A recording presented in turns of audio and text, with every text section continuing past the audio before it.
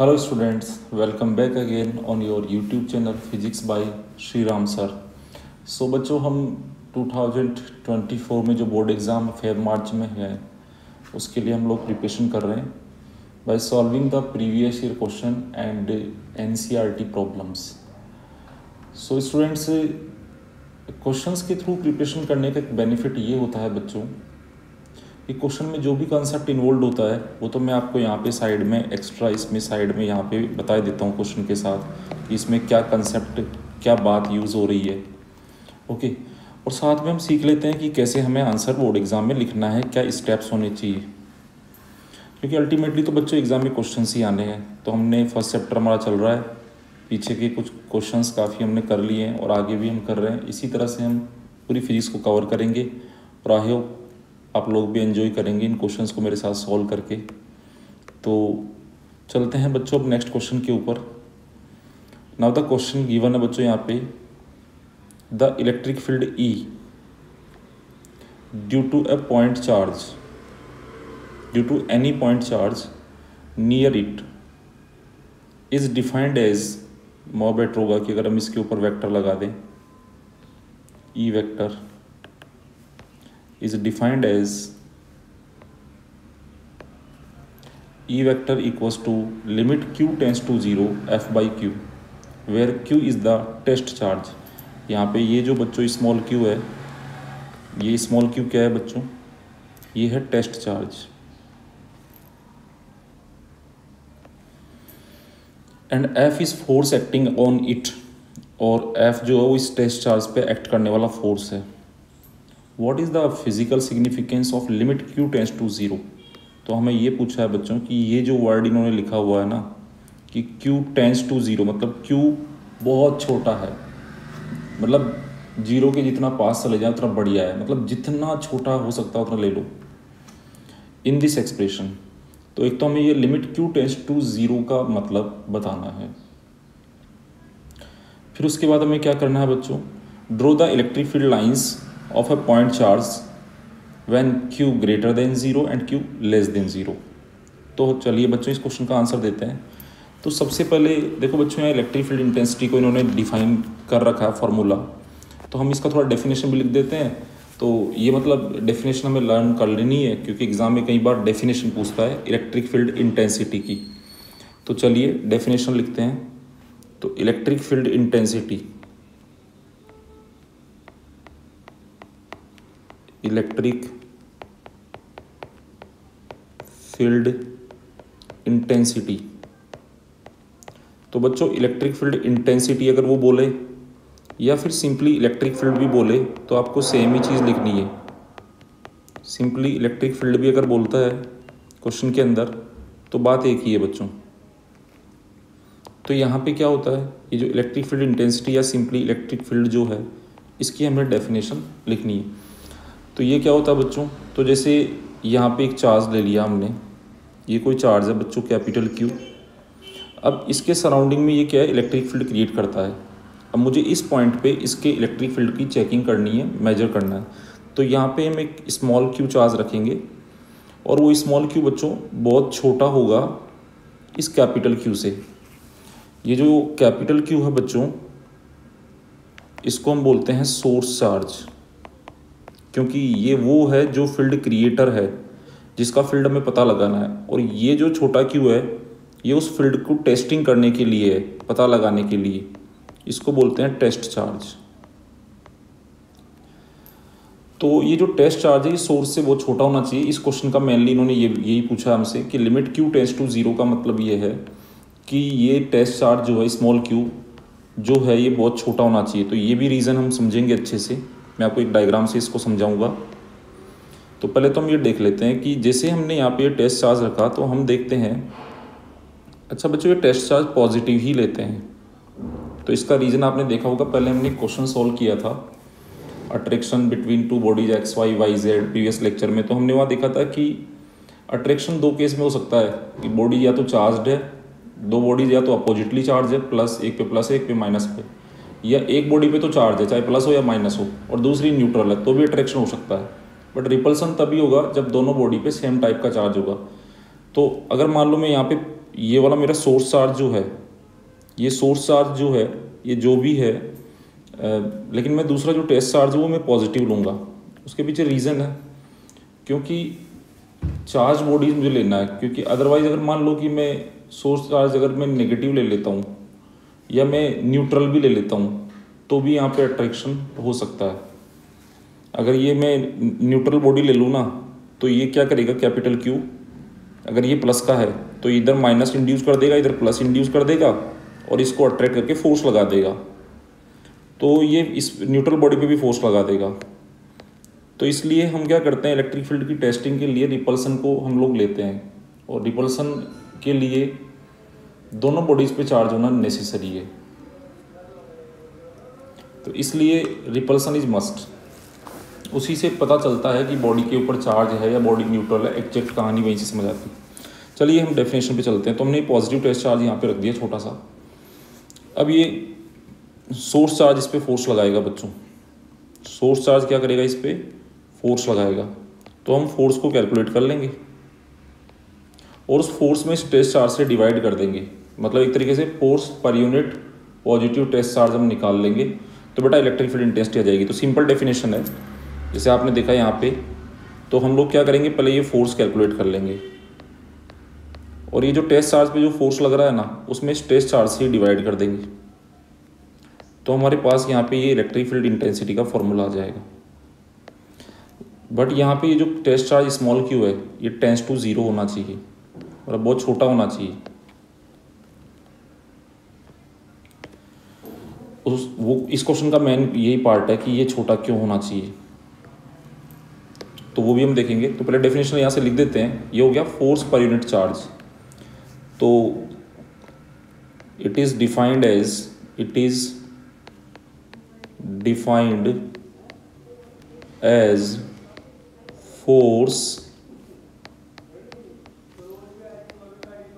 per unit force per unit positive test charge force per unit positive test charge it is defined as force per unit positive test charge simply इसकी definition हो गई किसी point पे positive पर unit charge पे जो force लगता है, वो हमारे पास ई e हो गया F upon q electric field intensity की डेफिनेशन अभी बहुत छोटा क्यों होना चाहिए? तो ज़रा इस डायग्राम को देखना बच्चों, यहाँ पे एक डायग्राम ले लेते हैं हम। तो इस डायग्राम में आप देख रहे हैं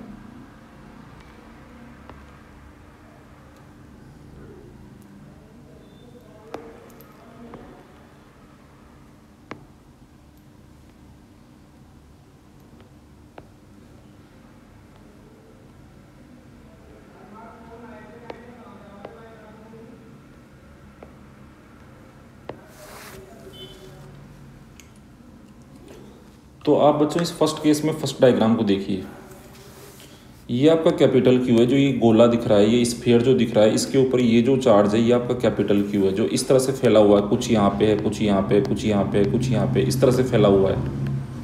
और ये क्या कर रहा है? इसके चारों तरफ़ इन डिफरेंट पॉइंट्स पे इलेक्ट्रिक फ़ील्ड गेट कर रहा है, जैसे यहाँ पे कर रहा है।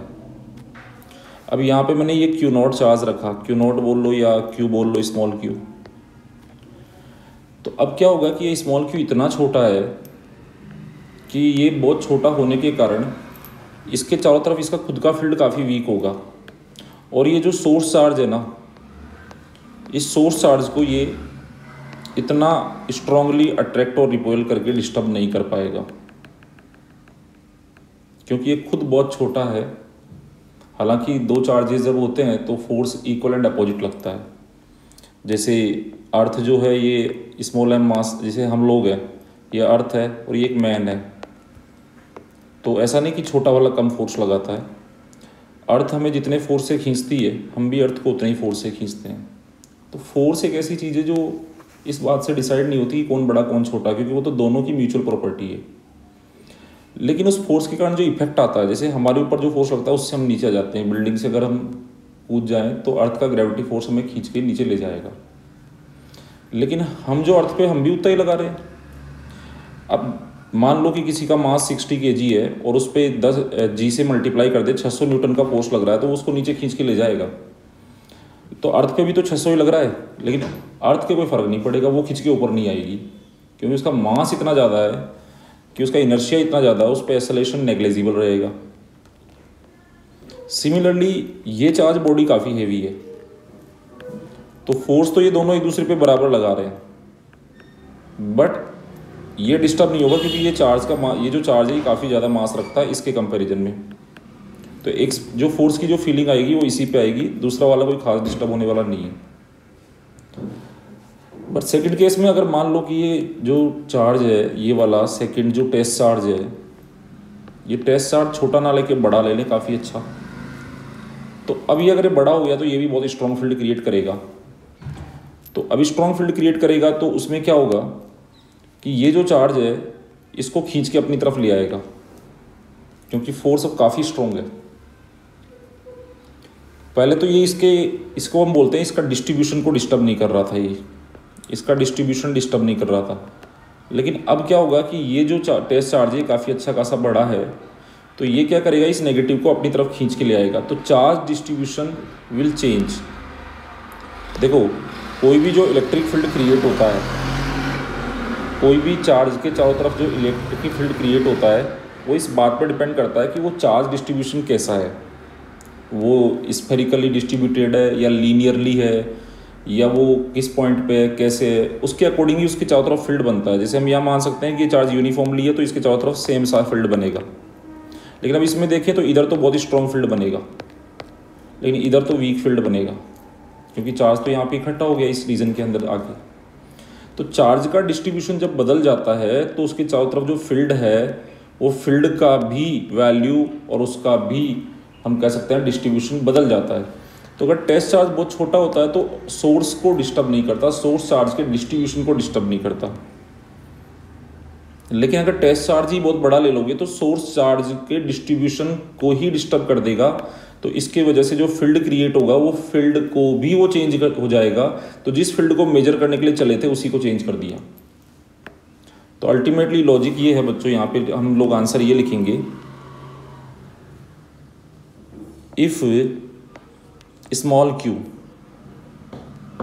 is large if small q is large not small q tends to zero ऐसा नहीं है।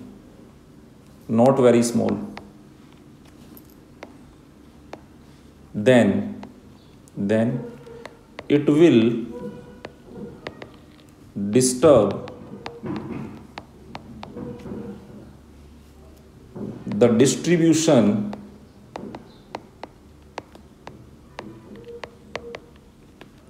of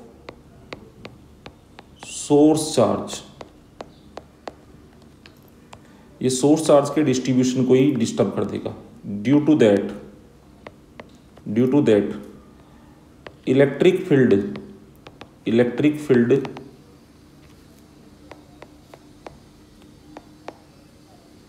created by source charge will get modified.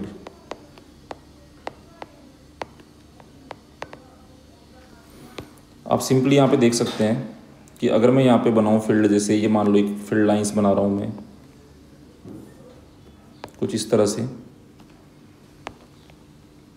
कुछ फ़ील्ड का ऐसा वेरिएशन है, एक जैसा सा सेम सेम सा। ये इलेक्ट्रिक फ़ील्ड का वेरिएशन है। लेकिन अब क्या होगा? अब यहाँ फ़ील्ड बहुत ही स्ट्रांग हो जाएगा इस जोन के अंदर।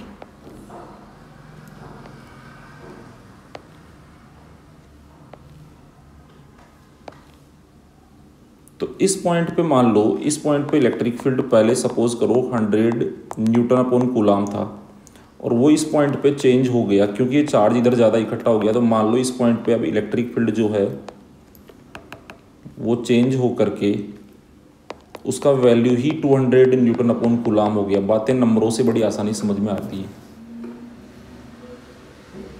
तो हमें पता है, जब ये टेस्ट चार्ज हम यहाँ नहीं लेके आए थे, थोड़ी देर के लिए हम देखें। कि जब हम ये टेस्ट चार्ज यहाँ नहीं लेके आए थे, ये टेस्ट चार्ज यहाँ नहीं था, तब यहाँ पे फ़ील्ड लेट से हंड्रेड था और उसी को मेजर करने के लिए, पता लगाने के लिए हमने टेस्ट चार्ज लेके आए थे। और आराम से हमने टेस्ट चार्ज रखा और वो हंड्रेड फ़ील्ड जो है वो हमने मेज़र कर लिया। बट अगर आप देखें यहाँ पे तो फिर क्या हुआ कि अगर ये टेस्ट चार्ज आपने काफ़ी बड़ा लिया है ये टेस्ट चार्ज हम काफ़ी बड़ा लिया है तो इस पॉइंट पे जो फ़ील्ड है, वो हंड्रेड से टू हंड्रेड हो गया, क्योंकि इस चार्ज का डिस्ट्रीब्यूशन ही बदल गया इस पूरे का। तो जिसको मेजर करने चले थे, उसी को चेंज कर दिया। ये चीज़ बहुत बहुत जगह आपको फिजिक्स में हेल्प करेगी, जैसे गैल्वेनोमीटर वोल्टमीटर वहाँ पे भी इस चीज़ें आती है। कि गैल्वेनोमीटर से हम लोग करंट क्यों नहीं मेजर करते? क्योंकि जिसको मेजर करोगे, उसको बदल देता है, उसका डिस्टेंस बहुत ज़्यादा होता है। तो इसलिए उसको हमें शंट लगा के एमीटर बनाना पड़ता है। तो एक्चुअल में हमारा टारगेट तो इसे हंड्रेड न्यूटन अपॉन कुलाम वाले फ़ील्ड को मेजर करना था। तो टेस्ट चार्ज तो हम इसको मेजर करने के लिए लाए थे। हम ना कि इसको डिस्टर्ब करने इसको चेंज करने के लिए लाए थे। तो फ़ील्ड ही चेंज हो जाएगा। Field get modified so if small q is very is large not very small then it will disturb the distribution of source charge due to due to that उसकी वजह से क्या होगा बच्चों? गेम बदल जाएगा। Due to that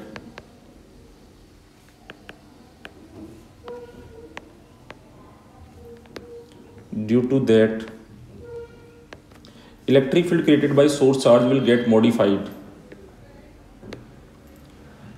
और उससे क्या होगा hence measured field will not be accurate जिस फ़ील्ड को हम मेजर कर रहे हैं, वो अच्छा नहीं होगा एक्यूरेट नहीं होगा, गलत होगा।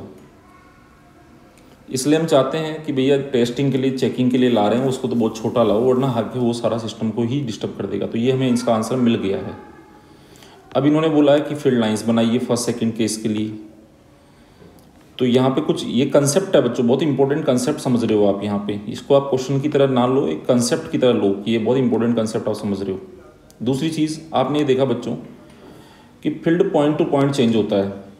तो मैं उस फ़र्स्ट और सेकेंड वाले का जो डायग्राम है, वो तो अभी हम बना लेंगे ईजी है इलेक्ट्रिक लाइन में।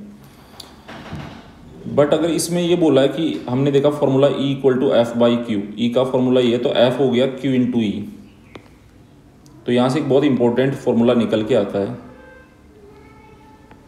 एफ़ इक्वल टू क्यू अब ये बच्चों, ये जो फॉर्मूला है ना, इसमें ये जो क्यू है, ये एक पॉइंट चार्ज होना चाहिए। मतलब ये एक पॉइंट पे कॉन्सेंट्रेट होना चाहिए।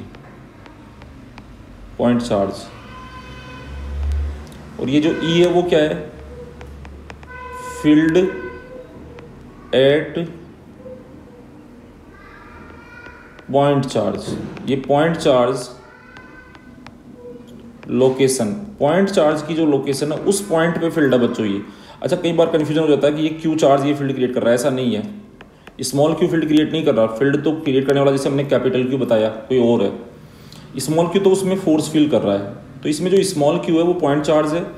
और ई e क्या है? उस पॉइंट पे फ़ील्ड का वैल्यू है। तो इसका मतलब ये होता है कि ये जो फॉर्मूला है, ये आप तभी लगा सकते हो एफ़ इक्वल टू क्यू जब आप एक पॉइंट चार्ज पे फोर्स कैलकुलेट कर रहे हो। उसके पीछे रीज़न हम बता देते हैं बच्चों कि सपोज़ करो आपका चार्ज कुछ इस तरह, ये सोर्स चार्ज है और ये स्मॉल क्यू आपका इस तरह से यहाँ तक डिस्ट्रीब्यूटेड है, ऐसे। ये आपका स्मॉल क्यू पॉइंट चार्ज नहीं है, बल्कि यहाँ तक एक पॉइंट पे कॉन्सेंट्रेटेड नहीं है, बल्कि ऐसे लॉन्ग डिस्टेंस तक ऐसे डिस्ट्रीब्यूटेड है। अब देखो बच्चों, इसमें होगा क्या कि इस पॉइंट पे इलेक्ट्रिक फ़ील्ड मान लो ई e वन है। इस वाले पॉइंट पे इलेक्ट्रिक फ़ील्ड ई वन है। इस वाले पे ई e टू है। तो इस वाले पे ई e थ्री है। दूर जाने पे मान लो कम हो रहा है। फ़ील्ड कौन क्रिएट कर रहा है? कैपिटल क्यू तो अब एक बार बताओ कि ये जो स्मॉल क्यू है, ये तो ये पूरा है। अब यहाँ तो फोर्स ज़्यादा लगेगा, यहाँ कम लगेगा, यहाँ और कम लगेगा। तो स्मॉल क्यू जहाँ जहाँ पे स्मॉल क्यू वहाँ सारे पॉइंट पे ई e तो सेम नहीं है। अब जब आप फोर्स निकालोगे स्मॉल क्यू के ऊपर तो यहाँ कौन सा वाला ई e डालोगे यहाँ पे? ये वाला पॉइंट का ई डालोगे कि इस वाले का डालोगे कि इस वाले का डालोगे? तो हाँ अगर मान लो कि यही सारा स्मॉल क्यू एक ही पॉइंट पे होता, ये सारा स्मॉल क्यू मान लो एक पॉइंट पे होता, यहाँ पे, छोटी सी जगह में होता स्मॉल क्यू और यहाँ फ़ील्ड ई होता तो आप फटाक से क्या करते? इस पे चार फोर्स निकाल देते। कि चार्ज इनटू इलेक्ट्रिक फ़ील्ड कर देते आप। तो इसलिए इफ़ अ पार्टिकल पार्टिकल मतलब point charge q is placed in external electric field E then electrostatic force act on the particle is q E तो ये पार्टिकल वर्ड इन्होंने इसीलिए यूज़ किया है कि चार्ज जो है वो एक्सटेंडेड बॉडी नहीं होना चाहिए। ज़्यादा डिस्टेंस में फैला हुआ नहीं होना चाहिए। तो हम लोगों को क्या है कि पॉइंट चार्ज के लिए लगा सकते हैं। या फिर ये फ़ील्ड तीनों ऑलमोस्ट सेम होने चाहिए। वो तब होगा जब ये ये इस चार्ज से बहुत दूर होगा। अगर इस चार्ज से बहुत दूर चले जाओगे तो फिर ये ये पॉइंट चार्ज की तरफ़ बिहेव कर सकता है। वो आगे की बात है। बट अभी आप ध्यान रखें पॉइंट चार्ज के ऊपर लगेगा। दूसरा, कि कहीं पे भी इलेक्ट्रिक फ़ील्ड है क्रिएट किसने किया? जैसे लेट से सपोज़ करो कि इलेक्ट्रिक फ़ील्ड है इधर। कंसेप्ट समझिए बच्चों। इलेक्ट्रिक फ़ील्ड है इधर। मैंने एक जैसा ये इलेक्ट्रिक फ़ील्ड बना देता हूँ, ये इलेक्ट्रिक फ़ील्ड है।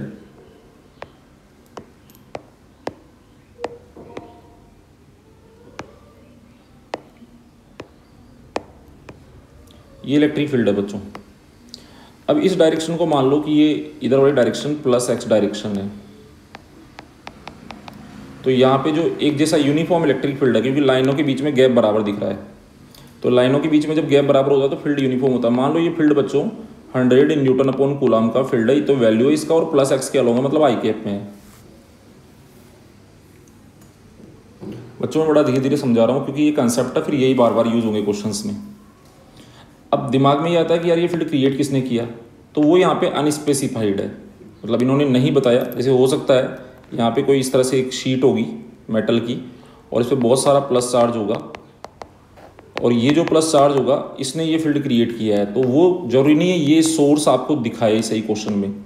सोर्स आपको कई बार नहीं देगा, केवल फ़ील्ड फ़ील्ड दे दिया। सोर्स छिपा दिया। अब क्या होगा कि एक स्मॉल क्यू चार्ज यहाँ ला रखते हैं हम। तो पहले हम पॉइंट चार्ज है ये प्लस क्यू नेचर का ला रखते हैं, और उस प्लस क्यू का वैल्यू हम ले लेते हैं। सिंपली समझना आपने कॉन्सेप्ट तो वो प्लस का टू गुलाम है। और दूसरा एक चार्ज ला के रख देते हैं यहाँ पे। निगेटिव वाला माइनस का टू गुलाम तो यहाँ पे जो चार्ज है, दो टाइप का रख सकते हैं अपन। पॉजिटिव नेगेटिव दो टाइप का होता है। अब फॉर्मूला लगाते हैं, ये वाला F equal to q E वाला। तो F equal to q E इसको क्यू वन बोल देते हैं, इसको क्यू टू बोल देते हैं। प्लस वाले को क्यू वन बोल दिया माइनस वाले को क्यू टू तो F equal to F one निकाल लें, पहले Q1 E ई तो बेटा सेम है, सब जगह इसलिए। तो क्यू वन कितना है? प्लस का दो गुलाम और E कितना है? E इस पॉइंट के ऊपर, सारे पॉइंट पे E का वैल्यू सेम है डायरेक्शन सेम है। तो ई e है हंड्रेड न्यूटन अपॉन गुलाम और E किधर है? आई कैप में। तो ये वेक्टर इक्वेशन है डायरेक्शन अपने आप आएगी। तो ये आ गया 200 गुलाम से गुलाम बेटा कट गया। तो 200 न्यूटन का फोर्स आ गया और ये प्लस आई कैप में आ गया। प्लस आई कैप का मतलब है कि जिधर इलेक्ट्रिक फ़ील्ड है, उधर ही ये फोर्स आ गया।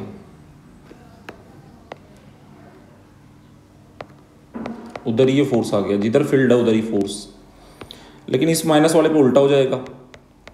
F2 तो ये है Q2E अब Q2 कितना है? माइनस का टू गुलाम और E कितना है? E तो वही है हंड्रेड न्यूटन अपॉन कुलाम किधर है? आई में ही है। तो फिर कुलाम से कुलाम कट गया। तो 200 तो मैग्नीट्यूड आ गया और माइनस को आई को दे देंगे तो माइनस आई क्या ये डायरेक्शन आ गई। अब फोर्स की डायरेक्शन किधर आई? माइनस आई में। और फ़ील्ड किधर है? प्लस आई में। तो इधर लगा। तो इससे क्या बात समझ में आई? कि अगर आप कोई भी पॉजिटिव चार्ज इलेक्ट्रिक फ़ील्ड में होगा तो उस पर फोर्स इलेक्ट्रिक फ़ील्ड की डायरेक्शन में लगेगा।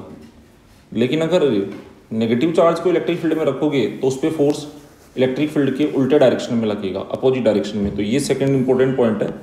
If charge q is positive then force vector on is in the same direction is in the same direction of field vector अगर बेटा चार्ज पॉजिटिव है तो फोर्स की डायरेक्शन फोर्स वेक्टर की direction field vector की direction में होगी। But if charge q is negative तो फिर फोर्स वेक्टर जो है फोर्स वेक्टर जो लगेगा, वो किधर लगेगा? Opposite direction opposite direction of field vector field vector के उल्टी डायरेक्शन में फोर्स लगेगा।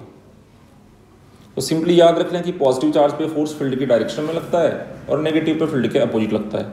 तो यहाँ पे हमने इलेक्ट्रिक फ़ील्ड की डेफिनेशन समझ ली। अब कई बार होता है ना कि सर क्वेश्चन करा रहे हैं थ्योरी तो बेटा थ्योरी मेरे को ज़रूरत, जहाँ ज़रूरत लगेगी, जहाँ इंपॉर्टेंट मुझे लगेगी, जितनी ज़रूरत लगेगी, मैं उतनी अच्छे से बताऊँगा थ्योरी भी डेरिवेशन भी, सब चीज़ कराऊँगा इसके अंदर। मतलब आपको ये कर लिए तो आपके अच्छे मार्क्स आने ही हैं, कोई नहीं रोक सकता, क्योंकि हम कुछ छोड़ेंगे नहीं इन क्वेश्चंस के माध्यम से। इन क्वेश्चंस के थ्रू हम we will not left anything everything we will cover जहाँ कंसेप्ट इन्वॉल्व हो जाएगा, मैं आपको कंसेप्ट भी समझाऊँगा। क्योंकि कंसेप्ट को धीरे धीरे समझाना इसलिए इंपॉर्टेंट है बच्चों क्योंकि फिर उसी उसी कंसेप्ट पर कई सारे क्वेश्चन बनते हैं जो चुटकियों में सॉल्व होते हैं। तो इलेक्ट्रिक फ़ील्ड की डेफिनेशन भी हमने लिख ली और मेनली जो क्वेश्चन हमसे पूछ रहे थे, अब अब बोर्ड एग्ज़ाम की अगर हम बात करें तो भैया जब क्वेश्चन एग्ज़ाम में आएगा तो हम तो यही चीज़ लिखेंगे ना, इतनी। क्योंकि हमारे क्वेश्चन में तो इतना ही पूछा है। ये बाकी तो मैंने आपको समझाया कंसेप्ट ऐसे ही ये चीज़ आपको क्वेश्चन में पूछी नहीं है बट हमें समझना है कि भाई फॉर्मूला कब लगता है। और इलेक्ट्रिक फ़ील्ड तो क्रिएट कोई भी कर देगा, पर दूसरा चार्ज उसके अंदर आएगा तो उस पर फोर्स किधर लगेगा? वो चीज़ ज़रूरी है। पॉजिटिव रट लो बिल्कुल फिट कर लो दिमाग में कि इलेक्ट्रिक फ़ील्ड की डायरेक्शन पहले पता लगाओ किधर है। फिर उसमें देखो कौन सा चार्ज रखा है। पॉजिटिव रखा है तो फोर्स जिधर फ़ील्ड है उधर ही लगेगा। नेगेटिव रखा है तो फोर्स फ़ील्ड जिधर है उसके उल्टी डायरेक्शन में लगेगा। फिट कर लो दिमाग में। अब लाइनें बनानी है पॉजिटिव और नेगेटिव चार्ज के कारण। तो लाइनें कैसे बनाएँगे? तो बहुत सिंपल है। चलो, लाइनें बना लेते हैं। तो इसका जो बी पार्ट में जो आंसर था, इन्होंने फ़र्स्ट में हमसे बोला था कि एक प्लस क्यू चार्ज है। मतलब ग्रेटर देन ज़ीरो है। यस ग्रेटर देन ज़ीरो दिया है। प्लस क्यू का मतलब ही है क्यू ग्रेटर देन ज़ीरो तो एक्चुअल में होता क्या है? फ़ील्ड की डायरेक्शन में कैसे निकाली थी? किसी भी पॉइंट पे एक पॉजिटिव चार्ज रखते हैं। तो अब ये पॉजिटिव चार्ज इस पर इधर ही फोर्स लगाएगा। तो फ़ील्ड लाइंस जो होती है पॉजिटिव के कारण, वो इस तरह से होती है। पॉजिटिव के कारण फ़ील्ड लाइंस उससे बाहर निकलती है। क्योंकि पॉजिटिव पॉजिटिव के कारण फ़ील्ड किधर होता है? अवे फ्रॉम द चार्ज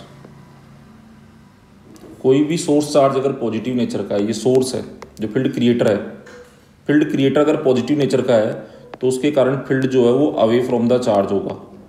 अब आपको टू में लग रहा होगा कि ये लाइन तो ऐसे सर्कल फॉर्म में है ऐसा लगता है बट ऐसा नहीं है। ये लाइन स्पेरिकल फॉर्मेट में है स्पेरिकल सिमेट्री के फॉर्म में। तो यहाँ पे हम बोल सकते हैं कि अगर अगर अकेला पॉइंट चार्ज है और वो पॉजिटिव है तो लाइंस कैसी बनेगी? तो लाइंस बनेगी यहाँ पे ये सारी आपको दिख रही है इस स्फेयर की रेडियस बन रही है, ये स्फेयर है नॉट सर्कल थ्री में है बच्चों की तो इसकी रेडियस के लॉन्ग जा रही है तो हम बोल सकते हैं अगर पॉजिटिव चार्ज है तो फ़ील्ड लाइंस कैसी होगी? रेडियली आउटवर्ड रेडियस क्या लॉन्ग होगी? और बाहर की तरफ़ जा रही होगी आउटवर्ड और कैसी होगी ये लिखना एग्ज़ाम में स्फेरिकली डिस्ट्रीब्यूटेड स्फेरिकली डिस्ट्रीब्यूटेड किस फॉर्म में डिस्ट्रीब्यूट होगी? थ्री में स्फेरिकली डिस्ट्रीब्यूटेड तो ये पॉजिटिव वाले के कारण लाइंस होती है। अब बेटा नेगेटिव वाले के कारण बनाना बड़ा आसान काम हो गया। क्योंकि पॉजिटिव चार्ज के कारण, देखो, आप लोग ना, एक चीज़ ध्यान रखना, आप लोग इसको मिक्स मत करना फोर्स और फ़ील्ड को। देखो, एक तो होता है फ़ील्ड क्रिएटर एक चीज़ तो होती है कि फ़ील्ड क्रिएट कर कर रहा है कोई सोर्स चार्ज तो उसका फ़ील्ड किधर होगा? और एक होता है, उस फ़ील्ड में जब कोई आएगा तो फोर्स किधर फील करेगा? तो जैसे यहाँ पे क्या है, यहाँ पे जो बात है वो ये है कि फ़ील्ड ये प्लस क्यू जो है, ये फ़ील्ड क्रिएट कर रहा है। तो इसका फ़ील्ड किधर होगा? तो इस प्लस वाले चार्ज का जो फ़ील्ड है, वो अवे फ्रॉम द चार्ज होगा। उसको चेक करने का तरीका क्या है, किसी भी पॉइंट पे अगर आपको ये पता लगाना है कि यार इसका फ़ील्ड किधर होगा तो वहाँ एक छोटा सा पॉजिटिव चार्ज एज्यूम करके देख लो। उस पर देखो फोर्स किधर लगता है, उधर ही फ़ील्ड होगा। तो अगर आपको ये पता लगाना है कि यार इस पॉइंट पे, इस पॉइंट पे फ़ील्ड किधर होगा, इसके कारण, इस वाले चार्ज प्लस क्यू के कारण फ़ील्ड किधर होगा? ये प्लस क्यू है, इसके कारण फ़ील्ड किधर होगा? तो वहाँ एक छोटा सा पॉजिटिव चार्ज एज्यूम कर लो और देख लो उस पर फोर्स किधर लगता है। जिधर फोर्स लगता है, उधर ही फ़ील्ड होगा। इसलिए पॉजिटिव चार्ज जब भी होगा, उसका फ़ील्ड उससे अवे होगा। अच्छा नेगेटिव का भी तरीका तो यही है चेक करने का कि मान लो आपका ये जो चार्ज है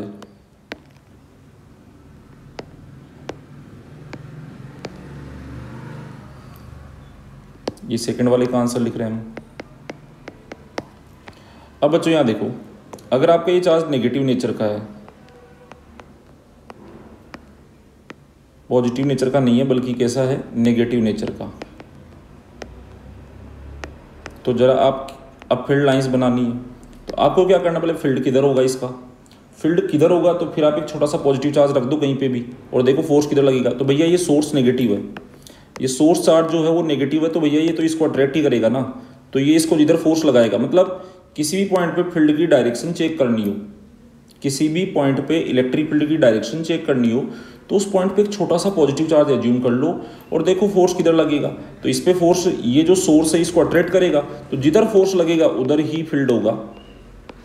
तो ये भी हम याद रख सकते हैं कि भैया पॉजिटिव चार्ज के कारण फ़ील्ड किधर होता है? अवे फ्रॉम द चार्ज और नेगेटिव के कारण फ़ील्ड किधर होता है? टूवर्ड्स द चार्ज तो फ़ील्ड लाइंस अंदर आएगी अब की बार। कहाँ से? इन्फिनिटी से। तो इसमें इन्फिनिटी पे जा रही है ये लाइनें पॉजिटिव वाले में ये इन्फिनिटी पे जा रही है और नेगेटिव वाले में ये इन्फिनिटी से आ रही है। अब फ़र्क क्या हुआ? फ़र्क इतना सा हुआ कि उसमें रेडियली आपने ये भी रेडियस के लॉन्ग लेकिन ये आउटवर्ड लिखा था आपने। इसमें आप लिख दोगे बच्चों इनवर्ड अंदर की तरफ़। और इसमें भी स्पेरिकली डिस्ट्रीब्यूटेड है। इसमें कौन सा सर्कुलरली डिस्ट्रीब्यूटेड है? तो फ़ील्ड लाइंस स्पेरिकली फॉर्म में ही डिस्ट्रीब्यूट होती है पॉइंट चार्ज की चारों तरफ़। अब देखो मैं आपको यहाँ पे क्लियरिटी कर दूँ कि आप इस चीज़ में कंफ्यूज मत होना कभी भी कि फ़ील्ड की डायरेक्शन और फोर्स की डायरेक्शन सिंपल याद रखो फ़ील्ड की डायरेक्शन चेक करनी है कहीं पे भी तो वहाँ एक छोटा सा पॉजिटिव चार्ज रखोगे आप। फ़ील्ड की डायरेक्शन आपको किसी भी पॉइंट पे चेक करनी है तो वहाँ एक छोटा सा पॉजिटिव चार्ज रखोगे, जिसको टेस्ट चार्ज बोलते हैं, वो हमेशा पॉजिटिव रखोगे। और देखोगे फोर्स किधर लगता है तो उसमें आप एक रिज़ल्ट पाओगे कि पॉजिटिव के कारण field away from the charge होता है और नेगेटिव के कारण टूवर्ड द चार्ज होता है। ये तो हुई फ़ील्ड की डायरेक्शन डिसाइड करना।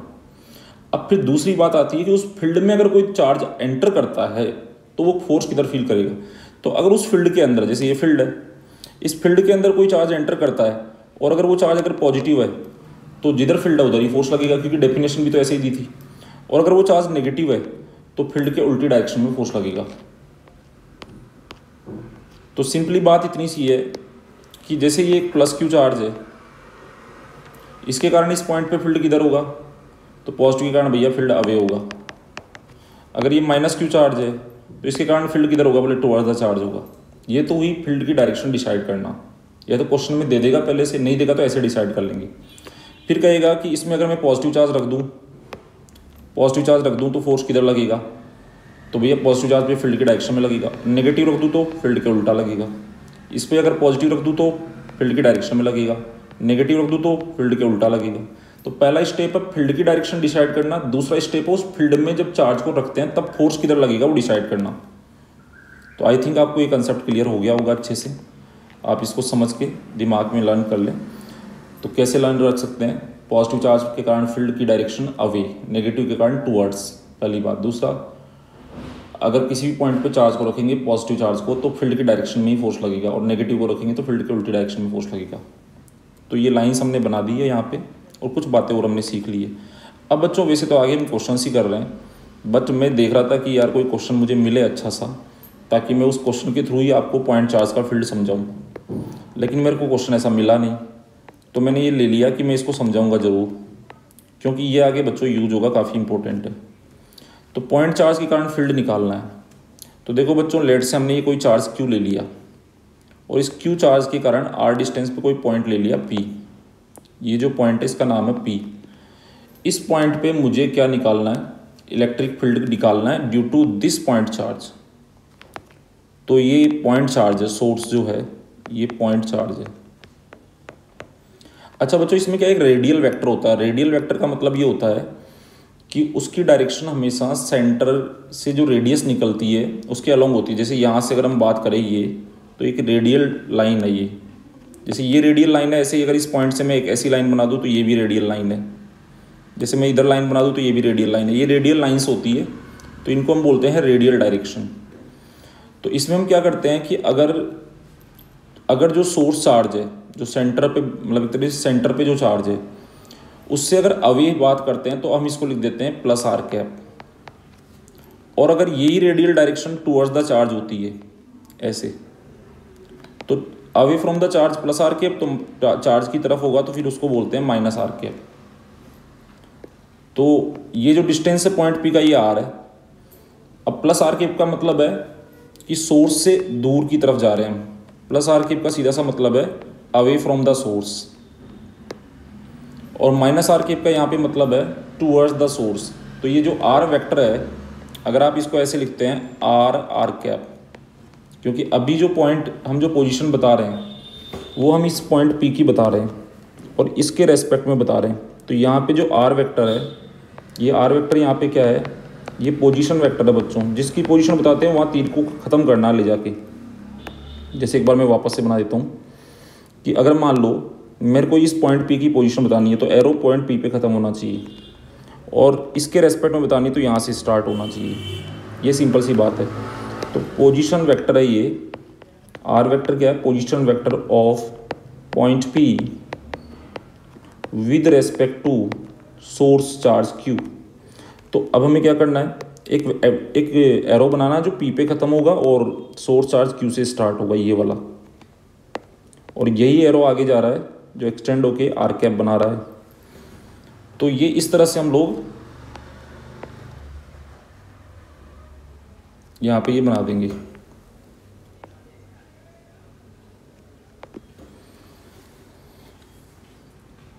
अब मुझे इस पॉइंट पी पे क्या निकालना है? फ़ील्ड निकालना है। तो मैंने यहाँ पे क्या करा? यहाँ पे एक छोटा सा टेस्ट चार्ज रख दिया q naught and test charge बहुत छोटा होना चाहिए कैपिटल क्यू से।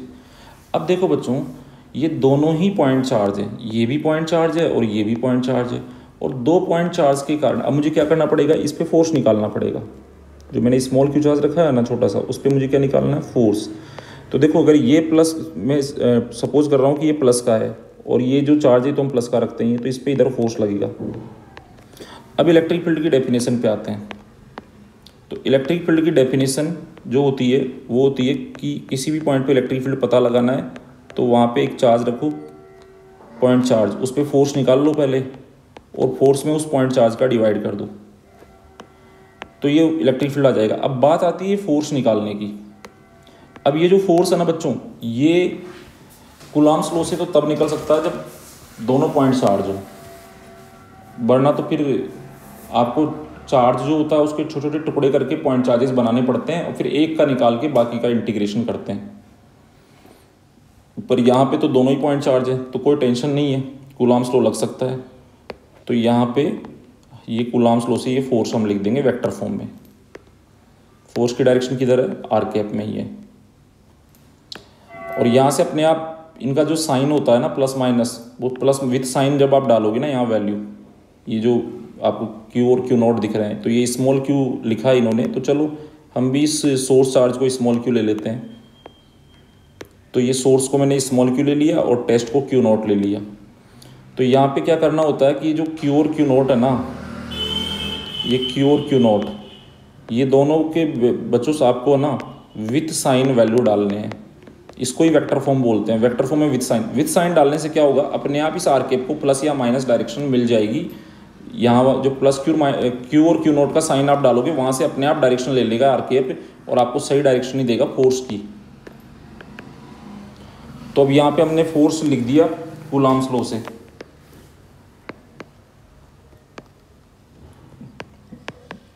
क्यों लिख दिया? क्योंकि दोनों पॉइंट चार्ज हैं। अब इलेक्ट्रिक फ़ील्ड का फॉर्मूला लगा दिया कि भैया किसी भी पॉइंट पे जो इलेक्ट्रिक फ़ील्ड होता है, वो फोर्स पर यूनिट चार्ज होता है। तो हमने क्या लगा दिया बच्चों यहाँ पे? इलेक्ट्रिक फ़ील्ड का formula E equal to F by q q naught तो क्यू नॉट जैसे डिवाइड किया तो ये क्यू नॉट कट गया इससे। क्यू? नॉट क्या हो गया बच्चों? कैंसिल आउट हो गया। यहाँ मैं लिख देता हूँ भले ये क्यू नोट यहाँ भी था? यहाँ भी था, पर ये कट गया। तो सिर्फ़ ये बचा हमारे पास। One upon four pi epsilon naught जिसको इस इलेक्ट्रोस्टैटिक फोर्स कांस्टेंट भी बोलते हैं। Q source charge upon r square अब ये फ़ील्ड बेटा इंपॉर्टेंट इसलिए भी है, क्योंकि यहाँ आप देख रहे हो एक ही चार्ज आ रहा है, और वो कौन है? सोर्स तो फ़ील्ड सोर्स की प्रॉपर्टी है बच्चों। ये सोर्स की स्ट्रेंथ को समझाती है। और जो फोर्स देख रहे हो आप, इसमें दोनों आ रहे हैं। छोटा भी उतना ही फोर्स लगा रहा है, बड़ा भी उतना ही फोर्स लगा रहा है। एक गुलाम, सौ गुलाम पे जितना लगाएगा, सौ भी एक पे उतना ही लगाएगा। तो फोर्स हमें ये एक तरीके से फोर्स का जो वैल्यू है, हमें ये नहीं समझाता कि कौन पावरफुल है। बट इसीलिए हमने इलेक्ट्रिक फ़ील्ड बनाया कि यार इसमें सिर्फ़ सोर्स आना चाहिए टेस्ट नहीं आना चाहिए, दूसरा अच्छा छोटा वाला नहीं आना चाहिए। जिसके जिसके फ़ील्ड की बात कर रहे हैं, वो आना चाहिए। इसलिए हमने फ़ील्ड का कंसेप्ट बनाया। तो ये फ़ील्ड हमने निकाल लिया। अगर हम इसका सिर्फ़ मैग्नीट्यूड लिखें तो फिर हमने कैप वेप हटा दिए और मोड में बंद कर दिया, क्योंकि मैग्नीट्यूड तो हमेशा प्लस ही होता है। तो इस तरह से हमने लिख दिया। तो यहाँ से हमें यह समझ में आया कि इलेक्ट्रिक फ़ील्ड शॉर्ट में से लिख देंगे। Electrostatic force constant k q upon r square ये हो गया। तो यहाँ से हमें एक समझ में आया कि जो इलेक्ट्रिक फ़ील्ड है, इसका पॉइंट चार्ज का तो पॉइंट चार्ज का जो इलेक्ट्रिक फ़ील्ड है, वो इन्वर्सली प्रोपोर्शनल होता है, उससे जो डिस्टेंस होती है, उसके स्क्वायर की। ये चीज़ हमें ध्यान रखनी है। अब इसमें अगर आप आर जो है, वो ज़ीरो की तरफ़ लेके जाओगे आर ज़ीरो डालोगे तो ई आपका बहुत ज़्यादा हो जाएगा। ई इनफाइनाइट की तरफ़ जाएगा। आर ज़ीरो का मतलब तो ये हो गया कि आप उस चार्ज की, ये क्यू चार्ज है, इसके ऊपर ही पहुँच गए, यहीं से मेजर कर रहे हो आर को तो इसके ऊपर। तो किसी भी चार्ज की खुद की लोकेशन पे फ़ील्ड नॉट डिफाइन होता है। नॉट डिफाइन मतलब इतना ज़्यादा है कि आप उसका वैल्यू बता नहीं सकते।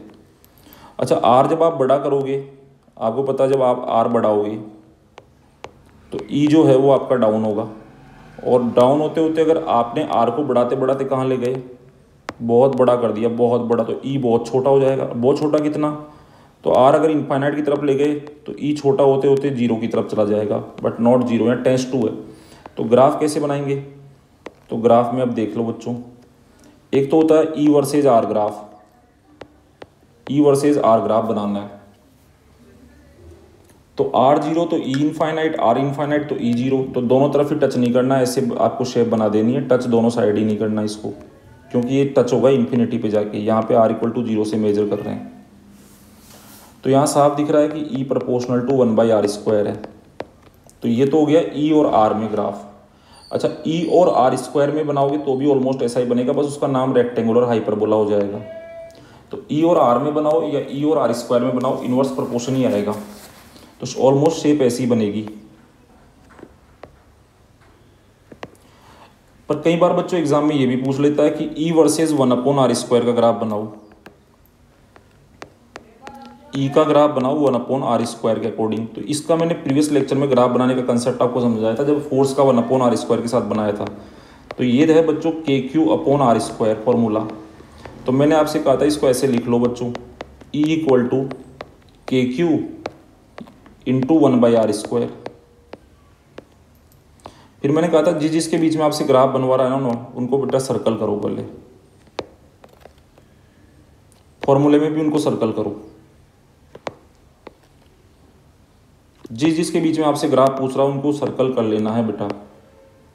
फिर आप एक्स वाई एक्सिस बनाओ। अब उस एक्सिस पे उन सर्कल की हुई क्वांटिटीज को लिखो, जिनके बीच में ग्राफ बनाना है तो ई e को यहाँ लिख दिया बेटा। और वन बाई आर स्क्वायर को बच्चों यहाँ लिख दिया। अब आप मार्किंग करो कि आपने वाई एक्सिस पे क्या लिखा है। तो यहाँ वाई लिख दिया। और आपने एक्स एक्सिस पे क्या लिखा है, यहाँ एक्स लिख दिया। अब सर्कल पे पावर देखो। पावर कुछ नहीं दिखती है तो वो वन ही मानी जाती है। तो वाई पे भी वन एक्स पे भी वन और ये मल्टीप्लाई में कॉन्स्टेंट है। तो y equal to m x graph बनेगा जो कि स्ट्रेट लाइन होगा। अब देखो बच्चों, इसमें दो चीज़ है। कि अगर ये मान लो जो स्लोप है इसका, पहले बात तो y equal to m x straight line passing through origin होता है। Y equal to m x क्या होता है? Straight line passing through origin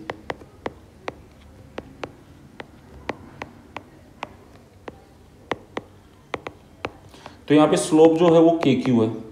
अब के तो हमेशा पॉजिटिव होता है, लेकिन ये जो क्यू है ना, इसके पास दो संभावनाएँ हैं। ये पॉजिटिव भी हो सकता है और ये नेगेटिव भी हो सकता है। अगर मैग्नीट्यूड है, तब तो हमेशा पॉजिटिव होगा, लेकिन वरना पॉजिटिव नेगेटिव दोनों हो सकता है।